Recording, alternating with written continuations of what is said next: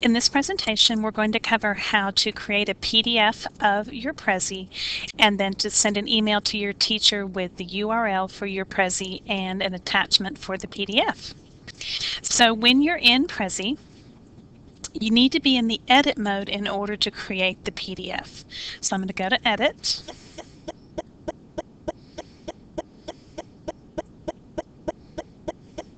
When you're in the edit mode in the top right hand corner, there is a print button. This is actually going to create a PDF.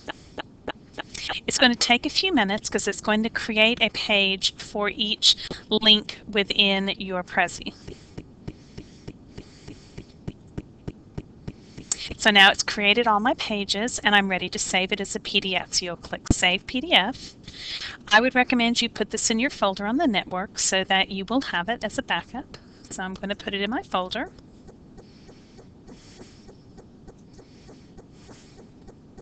Then you're going to send an email to your teacher. If you do not know your teacher's email address, you can get it from the homepage of the high school under staff. Or if you're working on a project in the library, usually the project page for your project this is the English 1H Poetry Project. Usually I will put the email addresses for your teacher on that page just to make it a little easier for you. So we're going to go to your in your um, email. So you'll log into your email account. You will compose an email.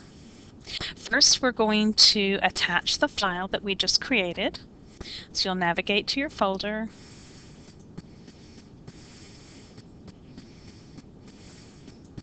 Click on the file. So now your file is attached, so they'll know what the Prezi looked like when you submitted it. Then um, under the subject, you probably need to put your name.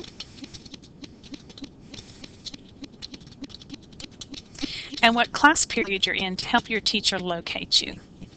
You'll put your teacher's email address in. In the text,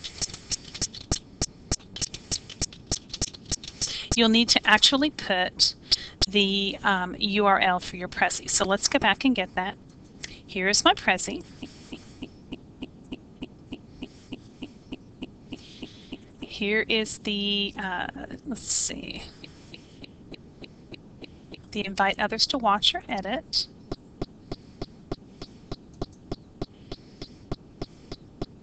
So I'm resaving my Prezi. There we go. After I save my Prezi, down below I can click share. And then here is the URL for my Prezi. You can click the copy button, go back to your email, and paste that long, hideous URL for your Prezi. At that point, you're ready to send the email to your teacher with two things. Again, a copy of your Prezi, as it existed when you submitted your project, and the link to your active Prezi. Now, if you're doing the English 1H Poetry Project, be sure you come down below the directions and complete the form for your Prezi.